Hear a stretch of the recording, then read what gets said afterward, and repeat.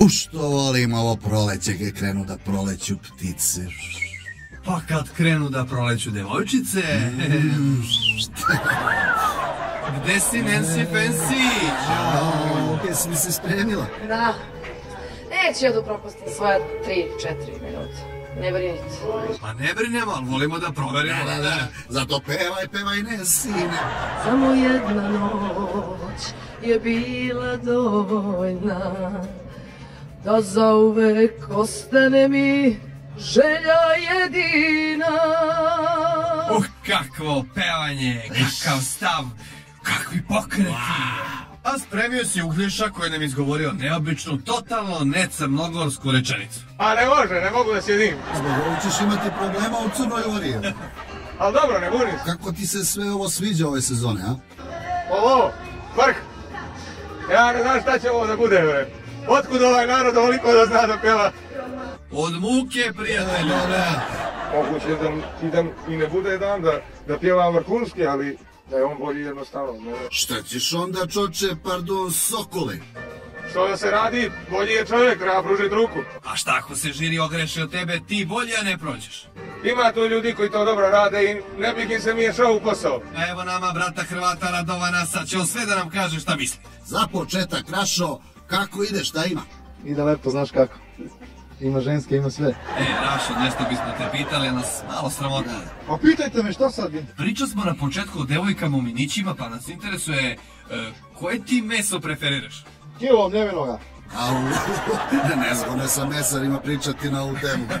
Preskačemo tu temu, nego priznaj stavljaju li mesari brašna i soju u meso? Sve je to za ljude. E, nemaš potrebe da kupuješ e, hamburger, tu ti je već sve spakovano. E, ma preskačemo i ovu temu, brale Rašo. Osme govori da ti je sve po volji, a od čega zavisi to raspoloženje? Zavisi koliko je, ko je s koliko zadovoljan. Pa ja bi bio zadovoljan da mi kad dođemo kod tebe u mesarnu, da ne sipaš brašnu i soju u mleveno meso. To nisam znao. Pa znaš da sreću čine male stvari, zato stavi malo i mesa, je. Uvijek mi je drago kad vas vidim. Nemoj sad da skrećeš teme, e, alo. Da, da, da, ajde, neka ti bude... Kako ti je Zurka, a?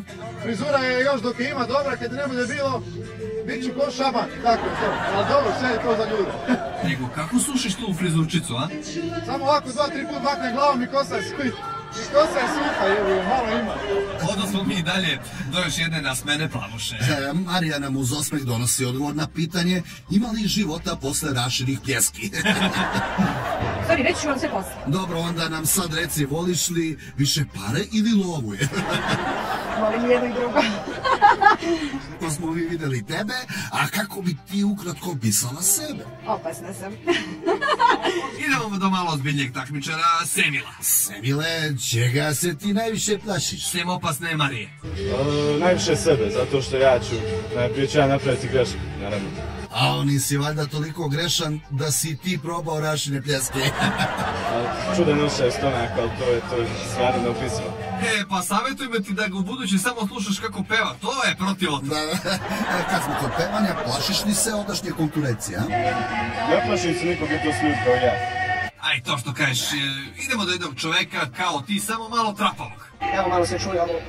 A šta to bi Nemanja, rano je za dnevne gre. Lomi, lomi, sve polomi. E, Dragi gledalci, upravo smo obavešteni od Savata Popovića da će Nemanja zbog sigurnosti scenografije na Granbini nastupati na polju. I tehnički problem, ništa strašno. Kako li će biti ako prođeš kad sad toliko razbiješ? A nek bude iznenađenje malo.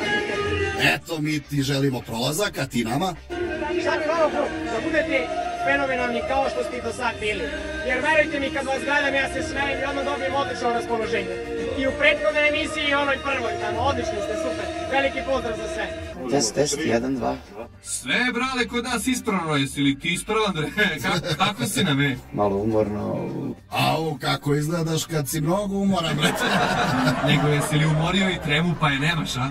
Pa, onaj ko nema treme, ne znam, laže. Ko misliš da ti je najveći protiv? Sam protivnik si sam ti sebi. Ako sebe pobediš, Šta reče?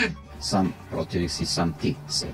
Aha, to li je, izvini na prekidanju, nećemo više. Ali hoćemo još da te pre, priupitamo, mislim, koji je po tebi recept za prolazak u sljedeći krug? Ako ja budu vezao za emociju, šta on može da donese? Robocop pesmu. E, objasni nam slikovitije kako je to Robocop pevanje. Tehnički odradi super, superiorno, a ne izbaci srce na terenu što kaže. E, Dobro je što se tiče srca i grudnog koša, jer ja tu uvijek izbaci u prvi plan, jel tako? E, tako da možda smatraš da si ipak dobro prošao. E, imaš ti nekih pitanja za nas, a? Da li bi vas pitao nešto? Dobro mi je interesantno ovdje da se družite s nama. I brale, šest godina druženja sa vama mora da ostaje traga, je. Tako da je odgovor apsolutno potvrdan. E, onda mi je drago. Onda se... U to ime ti poklanjamo jednu pesmicu.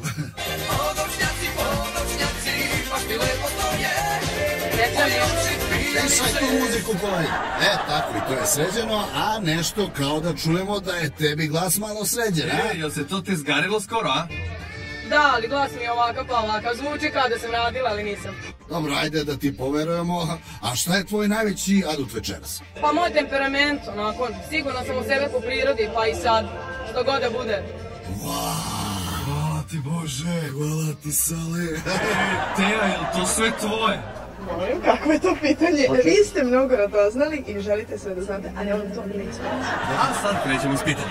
E, šta su ti govorili do sad kad bi te videli u tom izdanju? Recimo, uglavnom su mi svi govorili da imam veliki potencijal da budem zvezda, ali mi niko nije rekao da ne znam kako dobro pevam. E, u to verujemo, pogotovo ako citiraš muškarca.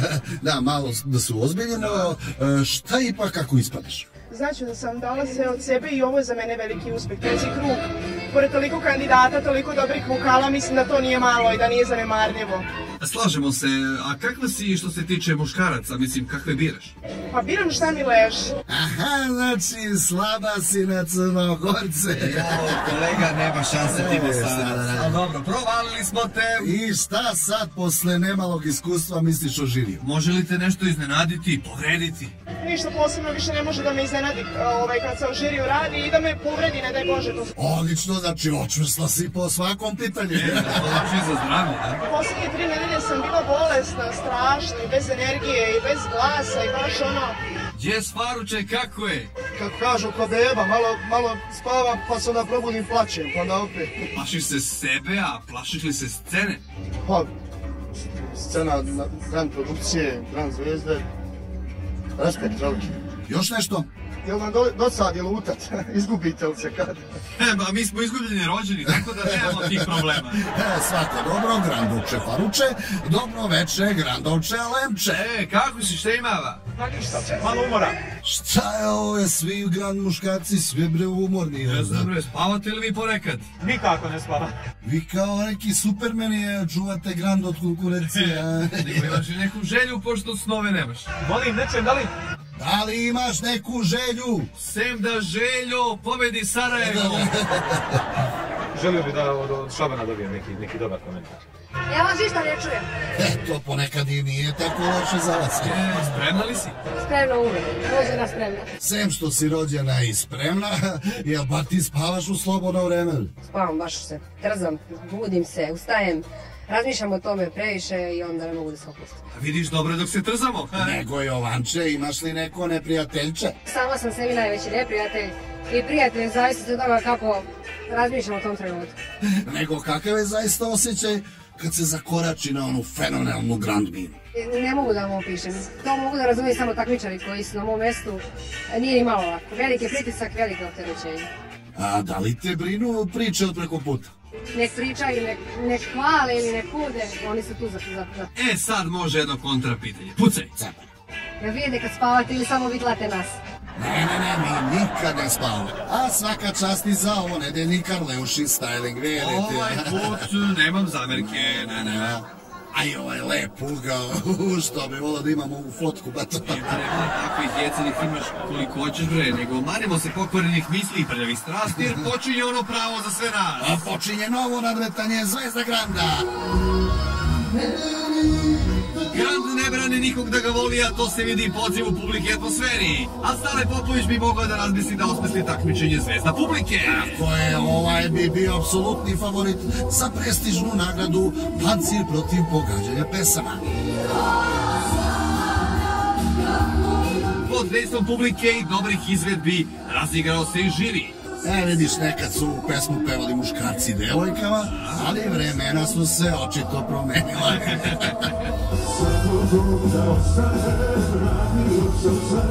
Bilo je zabavno, napeto, ludo i nezaboravno. Tek će da bude u baražu, a da čujemo kakvi su utisci na ovoj maloj pauzi. E, Da, prvi pozdrav ide Radojici i Nikoli. Bili se malo izlasi još pod utiskom, a ti nam Niđo reci kako je bilo. Pa duel je bio, znači, stvarno žestok. Kolega je bio. Uvijek je mogli bolje, ali... E, ne upadajte u reč, niste u skupštini. Alo bre, ka- kakvi su bili komentari? Pa Komentari su stvarno bili izvanredni, čak sam i nadimak dobio. E, da, čuli smo šećer, da. Da, šećer. Eto, kao da smo vidoviti, ono, onomat smo pričali da se mažeš crnim delom eurokrema zbog tena, je. Znači, bilo je baš slatko i lepo. E, Predivno sa njihove strane i evo zahvalan sam puno za to. Super, ajde onda raziđite se kao prijatelji, pa idemo dalje. Puno sreće u garažu, želim sve najbolje. Hvala. Hvala. Preživele. Preživele, da. Dobro, super, pa da počnemo. Završili jesmo. Nismo završili. nismo ni počeli bre, gde se sad žuviše? A, mnogo sam žedna, moram da popim nešto. Strpi se još malo i recite nam šta očekujete od baraža. A ćemo sve od sebe, bit će malo opuštenije, bit će nas više na, na sceni. Sad sam konačno dočekao da, da dođem fit, što se kaže. Ti pohvalimo osmeh, da, osmeh mu je fenomenalan. Zato njemu, njemu je srećna ova preteza izgleda. E, čekaj malo, nismo u toku. Ma nema, uveo sam sad željeznicu. Ovo je ti koji ti je tramvaj, šest, sedam. A sad tu piči i to nema, to sve.